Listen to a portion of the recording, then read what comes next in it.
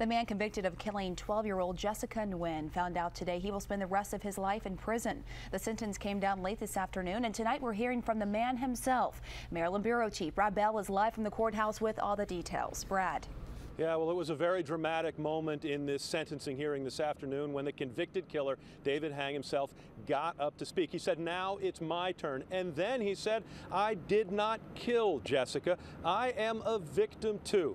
Well, the jury rejected those notions. So did the judge. She gave him the maximum sentence. When 12 year old Jessica Nguyen was found slashed to death in her Gaithersburg home back in 2011, many feared a monster was on the loose.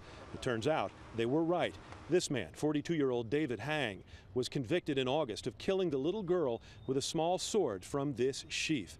And as if that wasn't monstrous enough, in a jailhouse phone call intercepted by police, he said he did it to exact revenge on the girl's mother. His quote is, now she is punished by her daughter's death. It serves her right. That recording is among the evidence used by prosecutors today to win a sentence of life without parole for Hang. During an emotional sentencing hearing this afternoon, Nguyen's mother and sister spoke of their constant grief, and Hang stood to deny he had anything to do with the killing.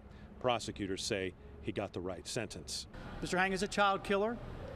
He killed an innocent child and richly deserved the sentence of life without the possibility of parole.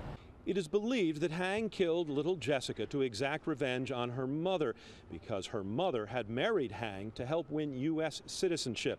And when Hang fell in love with another woman, he became furious that he couldn't get a divorce. In the basement of Nguyen's townhouse, he cut and stabbed the girl nearly four dozen times cases involving children when they're victims, especially victimized the way Jessica Nguyen was, is something that touches us. This was a special case to us, and she was a very special uh, child to us. Now, after the hearing, Jessica's mother and sister declined to speak to us. We were told that they were too emotional.